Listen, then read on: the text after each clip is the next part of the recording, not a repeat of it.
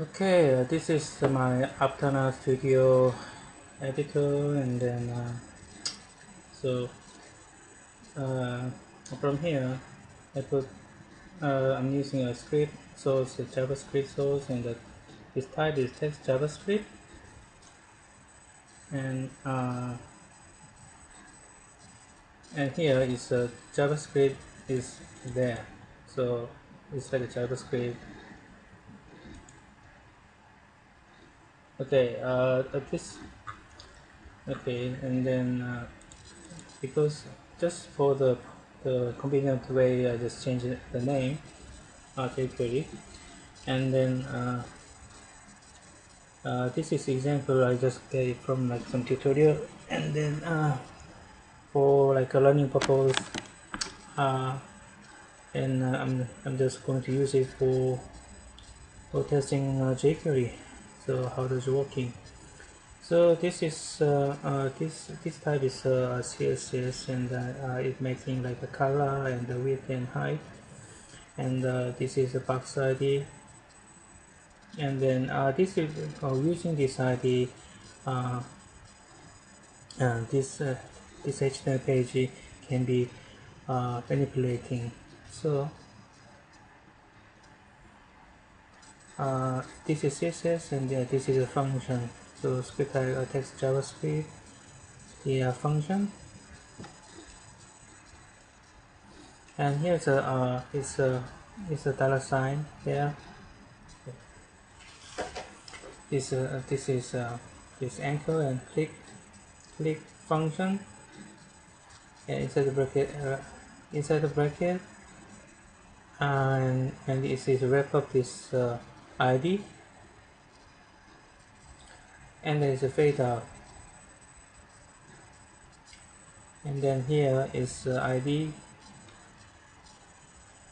this is the ID and uh, so I'm going to uh, test it if this one is working. So, so yes and then uh, uh, somehow okay okay uh, so this is example. So if I scan this here okay. Okay so this function uh, if uh, if I just click if because if this is anchor uh, if I click it it will just fade out. And uh, this is a parameter that control the speed of the uh, fade out. And and it's possible to uh, put in another like a function like a fade in uh, some other things so you can make it and also to change the, the size of the box control from here. So this is simple way of uh, using a jQuery. And uh, okay another example is that uh, okay uh, this is uh, I got it from the this is jQuery uh, called jQuery.com and uh, it, uh, this is pretty cool so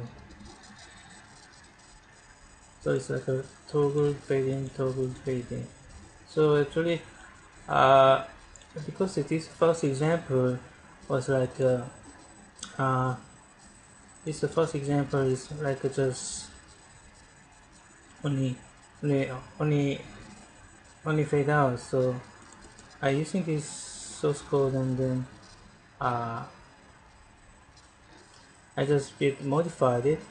So if I do that it, it comes like that. So here because I I using like a toggle and then if I click here something like this, this is click is showing.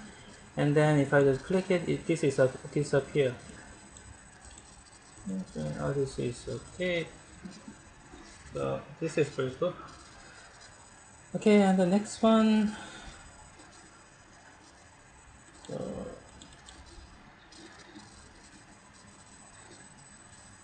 so this one is uh, like uh, twisting a little bit. Okay so it's color is this uh, this uh, this is uh, another like a speed parameter. And uh, it's uh, changing the anchor tag and using the CSS and I see how it's working so it's like uh, okay smoke up. Okay and,